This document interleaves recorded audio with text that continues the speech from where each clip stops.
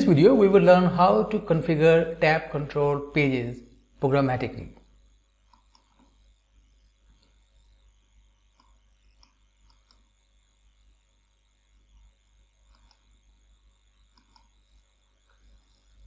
Follow these steps to configure a tab control page programmatically. Right click a tab of a tab control Select create, property node and then pages from the shortcut menu. LabVIEW creates an implicitly linked property node on the block diagram for the property we selected.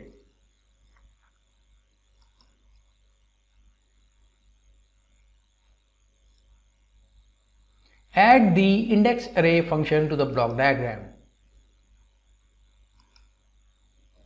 Wire the pages out of the property node to the n dimensional array input of the array index function.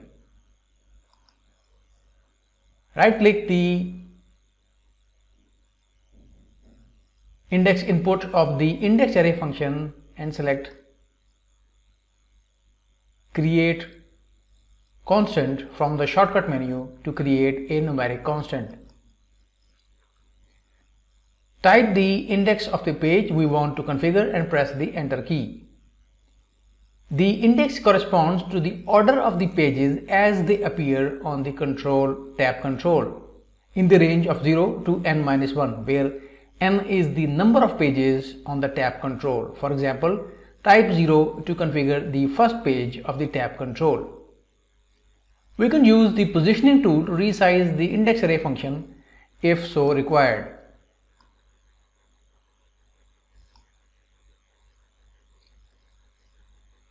We can use the wiring tool to right click an element output of the index array function and select create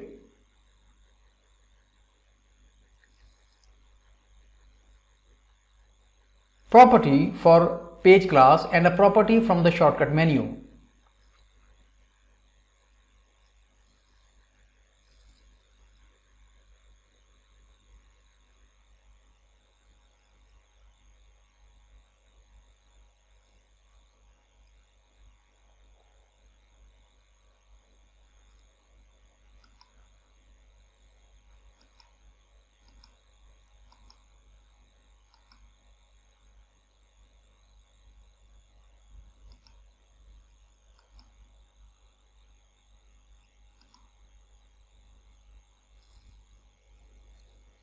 Add the property node to the block diagram and wire the element input of the index array function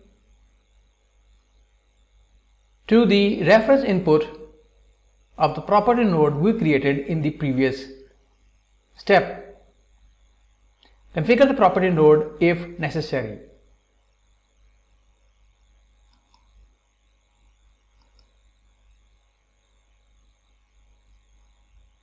So in this example we are going to allow multiple colors and then change the color from this.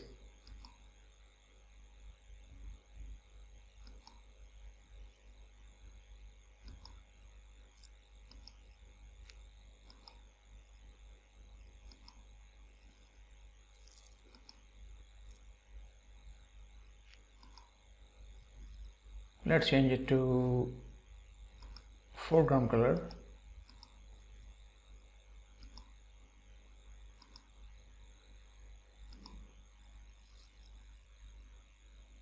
After we obtain a reference to a tab control page, we also can configure a control within a tab control page programmatically using the controls on page property.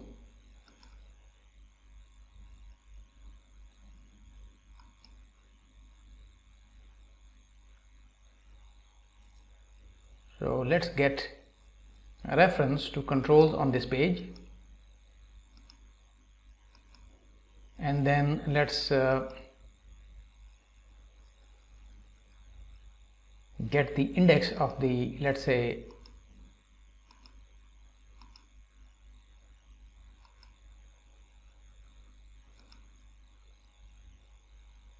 and then change the let's say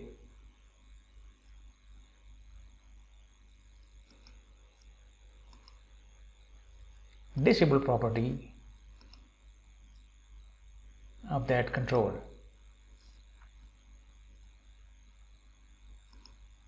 But first let's place a control here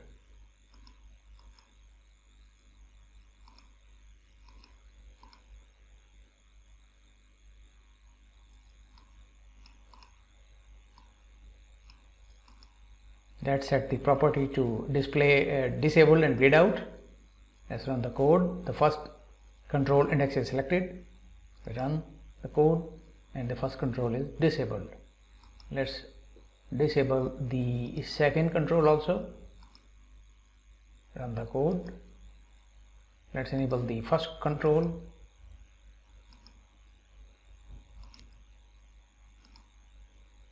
And the second control